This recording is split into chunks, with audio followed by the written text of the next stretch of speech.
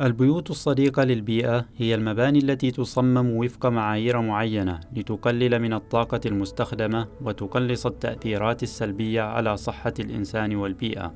من حيث التصميم المعماري والمواد المستخدمة في البناء وعمليات التشغيل والصيانة وعمليات إدارة المياه وإدارة المخلفات.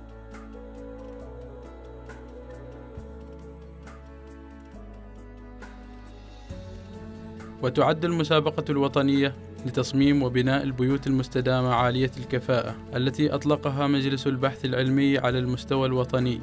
أحد المبادرات التي تجسد اهتمام المجلس بتحقيق أهداف التنمية المستدامة كما أنها تحوي في طياتها روح الإبداع والتحدي والمنافسة إلى جانب الاستفادة من الموروث الحضاري العماني في فن التشييد والبناء.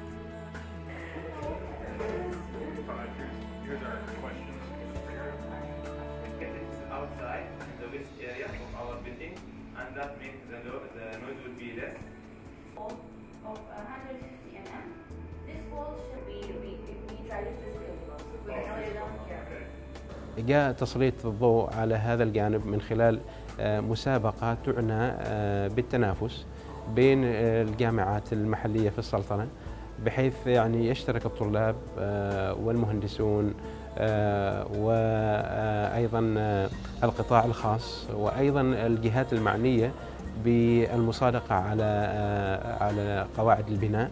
الاشتراك في فريق عمل متكامل.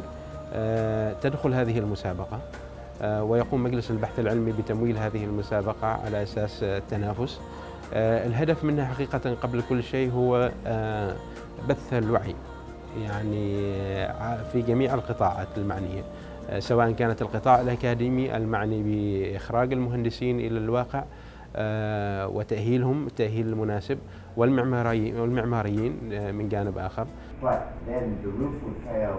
تم تصميم المسابقة لتشتمل على ثلاث مراحل تتمثل في مرحلة إعداد وتقديم مقترح تشكيل الفريق وخطة العمل، حيث يشترط أن يجسد الفريق روح الشراكة بين القطاع الأكاديمي والقطاع الحكومي والقطاع الصناعي، إلى جانب توفر عنصر بناء القدرات من خلال وجود عدد من الطلبة والطالبات وإشراك المؤسسات الوطنية الصغيرة والمتوسطة.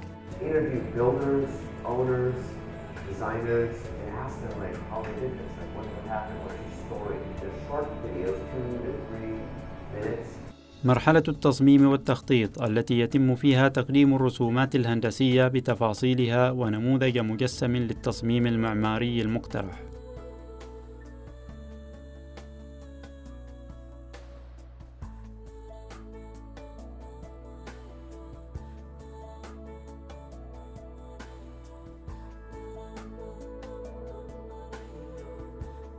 أما المرحلة الثالثة فهي مرحلة التنفيذ الميداني وكفاءة العمل والتي يتم بها تشييد المبنى المقترح حسب المواصفات المذكورة.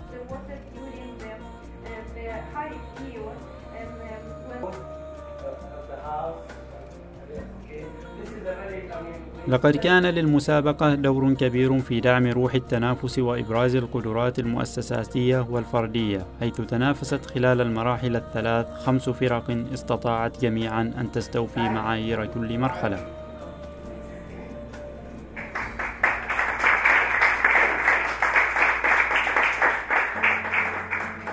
توجت المسابقة في المرحلة الثالثة بمعرض للنماذج المقدمة من قبل الفرق المتنافسة بهدف إتاحة الفرصة للجميع للاطلاع على نماذج البيوت الصديقة للبيئة والاستفادة مما تحتويه النماذج المقدمة.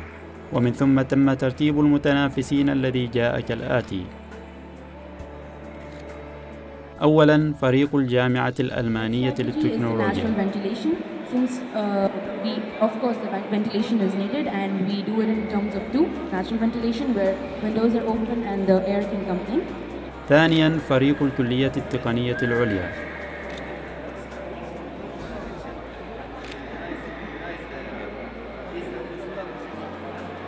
ثالثا فريق جامعة السلطان قابوس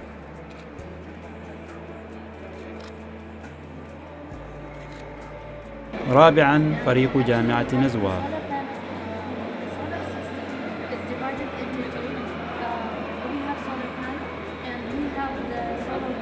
خامسا فريق جامعة ظفار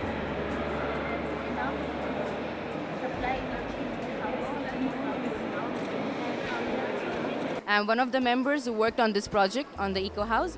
And uh, we were a big group, a big group of 34, 35 students working together with, along with the professors.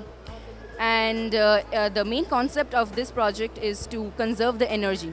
So what we do throughout the project is conserving energy and we protect our building from the sun. We have a protective gesture which is which you can see as a form of a hand and it protects it from the sun. We build this wall with mud brick. So our project doesn't uh, not only focus on the electricity consumption and to conserve energy, but we also look at local Omani products such as the mud bricks, as well as through our project we reintroduce the concept of native Omani plants.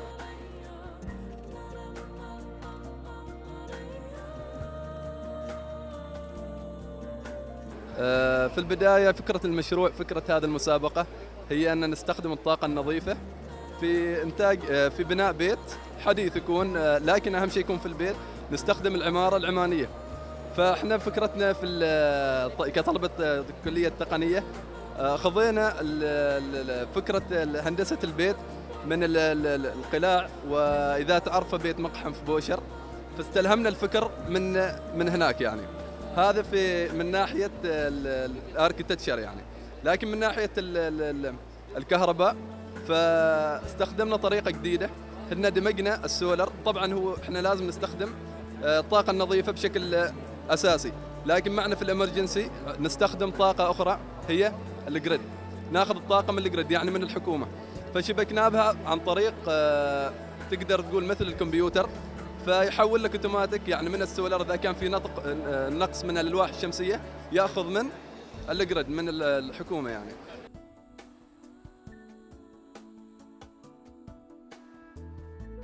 فكرة المشروع اللي تقدمت به جامعة سلطان قابوس إنه نحن نحاول إنه نظلل البيت بحيث إنه ما تأثر فيه طاقة ما تأثر فيه أشعة الشمس بصورة كبيرة. ففكرة المشروع كانت بوكس a box يعني صندوق داخل صندوق بحيث إنه الصندوق الخارجي يعطي ظل للبيت للبيت وبالتالي يقلل من الحرارة اللي توصل للبيت وبالتالي نقلل من استهلاك الطاقة الكهربائية. طبعا المشروع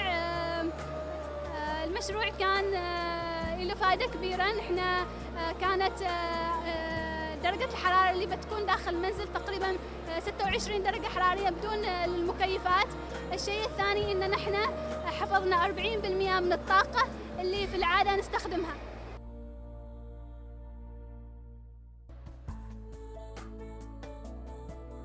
في هذا الصرح نحن نعرض مشروعنا اللي هو بيت صديق للبيئة، البيوت الصديقة للبيئة هي البيوت اللي تحافظ على صحة الإنسان وتقلل من استهلاك الطاقة في نفس الوقت. استخدمنا مجموعة مجموعة من الأنظمة في هذه في هذا في هذا التصميم اللي نحن عملناه، من هذه الأنظمة اللي استخدمناها ك main concept كفكرة رئيسية هي ال canopy، ال canopy اللي هي المظلة اللي نحن حاطينها على المبنى ذاته. هذه ال canopy نحن راعينا فيها كمعماري اتجاه اتجاه الرياح وحركة دوران الشمس، فنحن حطينا هذه ال canopy في اتجاه الرياح. فهي تعمل تعمل ك wind catcher، ال wind catcher اللي هي ملتق ملقطة الرياح، فهذه تلتقط لنا الرياح.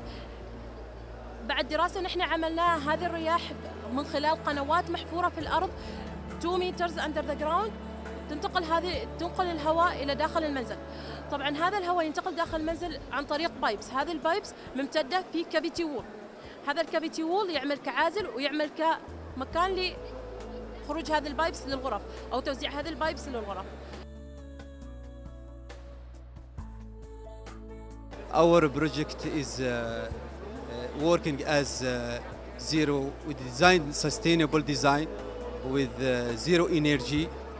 Yes, uh, uh, available materials, and we use the technical machine, technical uh, technique, local technique, with the future user, the future house user.